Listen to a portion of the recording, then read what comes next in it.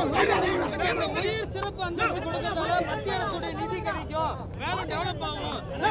இருபது- நிமிஷம் தான் தேர்ந்தெடுத்தாங்க அப்படின்னு சொல்லி சூரப்பா சொல்றாரு. மத்திய அரசு நிதி வந்து ஏற்கனவே தமிழ்நாட்டுக்கு வர வேண்டிய நிதியே ஏற்கனவே நிறைய நிலுவையில் இருக்கு. மத்திய அரசோட நிதி கிடைக்கும்னு சொல்றாங்கல்ல. ஏற்கனவே ஜிஎஸ்டியில் பலாயிரம் கோடி கொடுக்கணும். ப்ளஸ் இந்த கொரோனாவில் நிவாரண உதவி கேட்டிருக்கோம். அந்த நிதி தொகை எதுவுமே கிடைக்கல. அதெல்லாம் முதல்ல கொடுக்க சொல்லுங்க. ஏன்னா இது வந்து மத்திய அரசு நம்முடைய ப- கல்வியை வந்து முடக்க பார்க்குறாங்க தமிழ்நாட்டிலேருந்து மருத்துவர்கள் நிறைய பேர் படிச்சுட்டு இருந்தாங்க. நீட்டை கொண்டு வந்து எப்படி முடக்கினாங்களோ அதே மாதிரி தமிழ்நாட்டிலேருந்து இன்ஜினியர்ஸ் நிறைய பேர் படித்து வெளிநாட்டுக்கு போகிறதுனால அதை தடுக்கணுங்கிற ஒரே காரணத்துக்காக கொண்டு வரது தான் இந்த திட்டம்.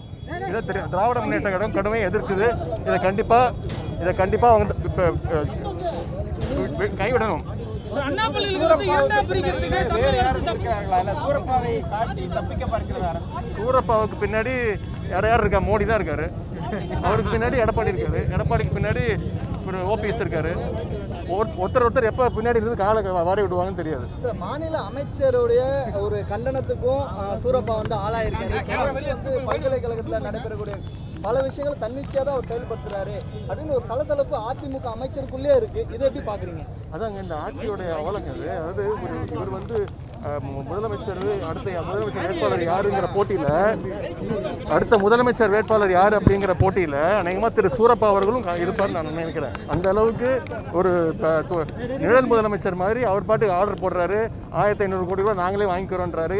கேட்டால் நான் வந்து தமிழகத்துக்கு வந்து நான் லெட்டர் போட்டேன்றாரு. ஆனால் அமைச்சர் வந்து எங்களுக்கு தெரியாது அப்படின்றாரு. இது அதிமுக ஆட்சி வந்து அவங்க போடுற இரட்டை வேடம். அதாவது அவங்க கட்சி தான் அண்ணாவோட பேரில் ஆரம்பித்து கட்சியை தான் பாஜக கடங்கு வச்சாங்கன்னா இப்போ அண்ணா பேரில் இருக்கிற அண்ணா பல்கலைக்கழகத்தையும் அடகு வைக்கிறாங்க. சார் பல்கலைக்கழகங்கள்ல வெளி மாநிலத்தைச் சேர்ந்த துணைவேந்தர்கள் நியமிக்கப்படக்கூடாதுன்னு ஏற்கனவே எதிர்ப்பு தெரிவித்தது. வரக்கூடிய தேர்தல் அறிக்கையில் இந்த கருத்து இடம்பெறுமா? தேர்தல் அறிக்கைக்கு தனியாக ஒரு குழு அமைச்சா தலைவர் அமைச்சிருக்காங்க. அது அவங்க தான் முடிவு பண்ணுவாங்க. கண்டிப்பாக பல்கலைக்கழகத்தை இரண்டா பிரிக்கிறதுக்கு சட்ட மசோதா தாக்கல் பண்ணிருக்காங்க கவர்னர் இன்னும் ஒப்புதல் கொடுக்கலன்னு ஆ, அதுலேருந்து என்ன தெரியுது? அதாவது இவங்க சொல்கிறது அவங்க கேட்கறதுக்கு தயாராக இல்லை அப்படின்னு தானே தெரியுது. த- த- த- தெள்ள தெளிவாக தெரியுது இல்லை இந்த இடஒதுக்கீடு திமுக தரப்பில் ஆளுநரை சந்தித்து அழுத்தம் கொடுக்கப்படுமா? இந்த ஏழு ஏழு பேர் விடுதலை உள்ளிட்ட பல்வேறு விவகாரங்கள் இருக்கிறது. ஆளுநர் ஆமாங்க அது தொடர்ந்து திராவிட முன்னேற்ற கழகம் அது குரல் கொடுத்துருக்கு அழுத்தம் கொடுத்துட்டு இருக்கு தலைவர் வந்து கண்டிப்பாக அது குரல் கொடுப்பார். சார் இது மாதிரி மாணவர்கள் அஹ், கல்வி நிறுவனங்களோ அதே போல மாணவர் படிப்பு விவகாரத்தில் மாணவர்களோட நலன் எந்த அளவுக்கு பாதிக்கப்படுது கண்டிப்பாக மாணவர்கள் ஒரு குழப்பமான நிலையில் இருக்காங்க. ஏற்கனவே நீட்டு கொண்டு வந்து பதிமூணு மாணவர்கள் இறந்துட்டாங்க. இப்போ நீட் ரிசல்ட் வர வரப்போகுதுன்னு நினைக்கிறேன். இதுக்கப்புறம் இப்போ அரியர்ஸ் எல்லாம் கிளியர்னு சொன்னாங்க. அப்புறம் அதுவும் இல்லை அப்படின்ட்டாங்க.